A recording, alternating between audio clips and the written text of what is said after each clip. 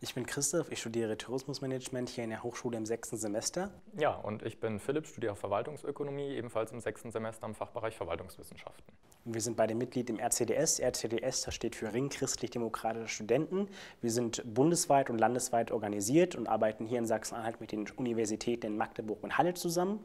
Und außerdem gibt es jährlich auch Bundesdelegiertenversammlungen, wo sich alle Delegierten des RCDS treffen, wo man auch aus Wernigerode kommend sehr gute Kontakte nach Deutschland knüpfen kann. Ja, also hier im RCDS haben wir einen vierköpfigen Vorstand. Ich ehemaliger Gruppenvorsitzender, Christoph aktueller Gruppenvorsitzender. Mit rund 40 Mitgliedern organisieren wir Diskussionsrunden, haben regelmäßige Gruppenabende, RCDS on Tour, die Jahresabschlussparty. Es gibt vielfältige Möglichkeiten, hier beim RCDS mitzuwirken. Also besonders schön im letzten Semester war unser RCDS on Tour. Da waren wir im Heidepark Soltau gewesen und haben auch erstmalig externe Studierende mitgenommen, also Studierende, die nicht Mitglied bei uns sind. Da gab es wirklich schöne Austausche. Wir haben Neumitglieder gewonnen und es war wirklich eine gelungene Veranstaltung für alle.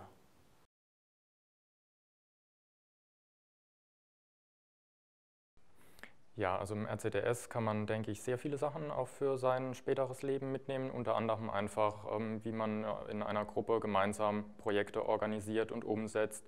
Ähm, vielfältige Möglichkeiten, einfach in den Gruppenabenden auch in Diskussionen einzusteigen und sich dort ähm, ja, mit anderen Leuten einfach auszutauschen über vielfältige Themen. Und ich denke, da kann man einiges mitnehmen.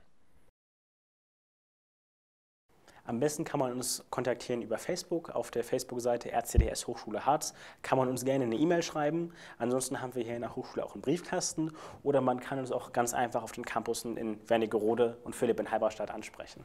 Genau. Wir sind auf jeden Fall interessiert an Neumitgliedern und würden uns freuen, wenn wir auch demnächst ein paar neue Leute begrüßen können bei uns in der Gruppe. Wir sind immer offen für neue Ideen, neue kreative Vorschläge und freuen uns auf euch.